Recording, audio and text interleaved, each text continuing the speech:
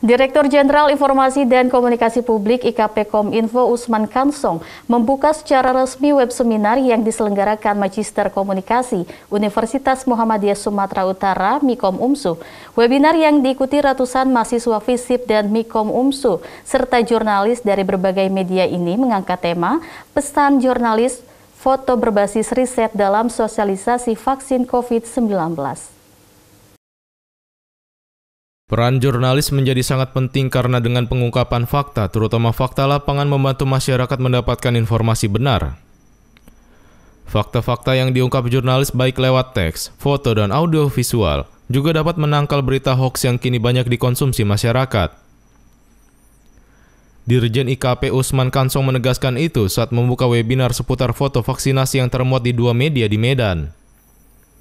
Sebelumnya Rektor USU Mulyanto Amin selain memberi apresiasi terselenggaranya webinar itu, ia juga gembira kini semakin banyak jurnalis yang menempuh pendidikan tinggi, jadi tidak hanya mengandalkan pengalaman lapangan. Bagi UMSU, dua foto vaksin yang menjadi materi riset, jurnalis foto LKBN Antara Irsan Mulyadi yang juga mahasiswa Mikom UMSU, terkait dengan peran UMSU dan Muhammadiyah yang aktif memerangi virus COVID-19. Rektor UMSU Agusani memberi apresiasi kepada jurnalis foto Irsan Mulyadi dan Rizky Cahyadi, jurnalis harian Tribun Medan dan Hairil Umri jurnalis harian Analisa, yang dua fotonya menjadi materi riset mahasiswa Mikom UMSU. UMSU, kata Agusani, terus memberi perhatian pada peningkatan kompetensi jurnalis di Sumatera Utara dengan memberikan diskon biaya kuliah di pasca sarjana. Muhammadiyah sebagai perserikatan Tentu dalam hal situasi COVID-19 ini, kita tahu mulai dari tingkat pusat sampai ke tingkat cabang, aktif dalam rangka bagaimana kita, seperti yang Bapak Rektor sampaikan tadi. Untuk itu tentu Muhammadiyah memiliki semacam organisasi MCC.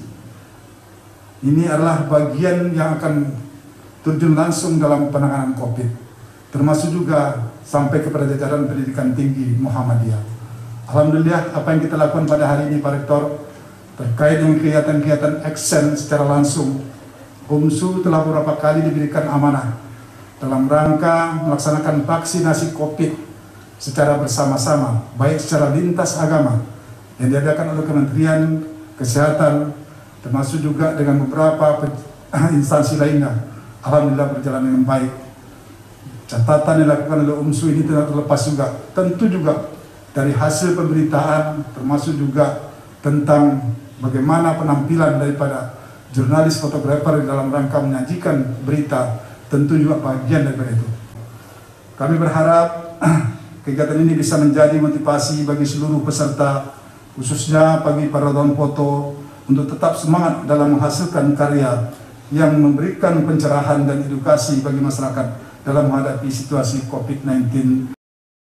Dirjen IKP Kominfo Usman Kansong memberi apresiasi kepada Imikom UMSU yang telah menggagas terlaksananya webinar yang mengangkat hasil riset foto jurnalis LKBN Antara Irsan Mulyadi. Materi riset foto vaksinasi Gubernur Sumatera Utara Edi Rahmayadi itu sangat pas dengan kondisi saat ini, di mana masyarakat butuh edukasi untuk mau melakukan vaksinasi. Uh, kita tepis informasi tentang uh, vaksin yang tidak benar itu supaya masyarakat mau divaksin.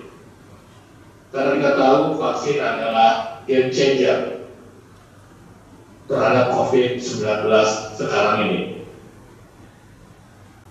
Hanya melalui vaksin yang pertama tentu saja maka kita akan bisa segera keluar dari pandemi COVID yang mudah-mudahan dalam waktu yang tidak terlalu lama akan beralih menjadi epidemi. Ya, kita kami di uh, pemerintahan sedang menyiapkan roadmap atas perintah Presiden bagaimana kita berangsur-angsur beranjak dari pandemi ke epidemi COVID-19. Webinar yang diikuti ratusan peserta itu dipandu oleh mahasiswa Magister Ilmu Komunikasi UMSU Nofri Afandi, yang juga jurnalis TV One di Medan.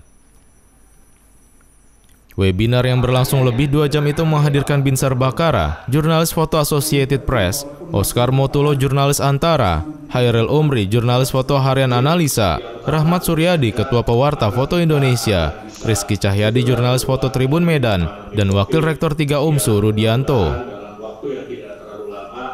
Saiful Hadi memberitakan dari Medan, Sumatera Utara.